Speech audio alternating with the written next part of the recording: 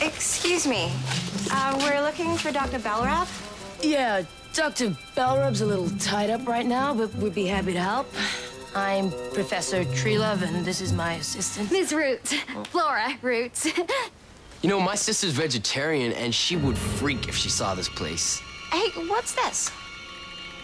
this is a blossom used for perfume. You want to smell? Hey, wait a minute. I know you two. You're.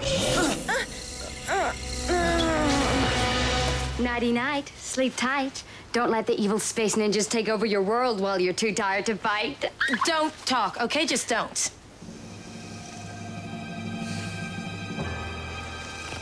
Wake up. What's happening? Oh. See, now this is what happens when you play with your food. I think I can get us out of here.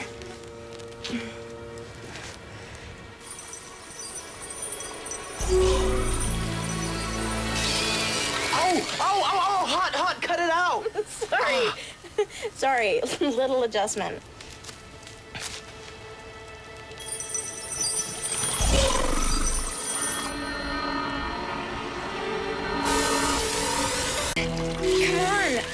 Almost there.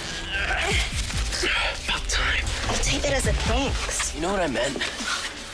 Okay, let's get out of here. Sensei needs to know about this freaky plant thing ASAP.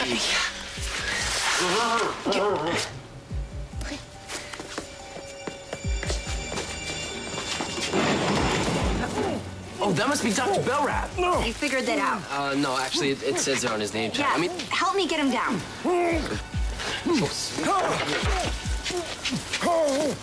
Not there. Oh! dude, I'm sorry. Uh, A terrible creature is growing the Sudima plant in my basement. okay, go get help.